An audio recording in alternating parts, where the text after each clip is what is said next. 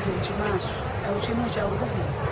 E nós estamos com esse movimento desde ontem aqui na Praça da Graça, exatamente para poder sensibilizar as pessoas da importância de, como diz minha proteger seu rim e salve seu coração. Ou seja, hoje a insuficiência renal é uma doença que não é só tratada, vamos olhar só o rim.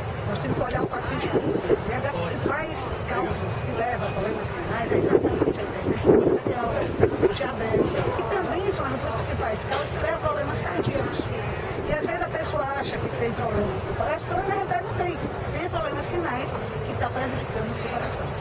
Então nós estamos fazendo esse trabalho aqui na Brasa, junto com, a, com o Instituto da Ordem, com a UESP, com a FAC, com a Unimub, com a nossa equipe aqui da Uniri, compomos a Uniri, exatamente para sensibilizar as pessoas da importância do controle da glicemia, da, da, da diabetes, né, para detectar o diabetes, que a maioria das vezes tem sintoma de diabetes, e o controle da hipertensão arterial. Então, esses dois fatores são importantes tanto para a prevenção da doença renal, como para a prevenção das doenças cardiovasculares.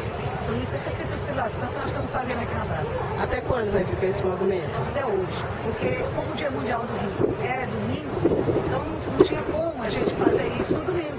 Até porque não tinha público. Então, nós vamos fazer hoje, lá na clínica hoje, né, desde ontem também nós estamos mostrando alguns vídeos educativos para os pacientes que estão lá é, fazendo hemodiálise, como também para os pacientes de consultório. No caso, hoje à tarde, meu consultório vai ter vídeos educativos sendo mostrados aos pacientes que vão lá se consultar por algum motivo.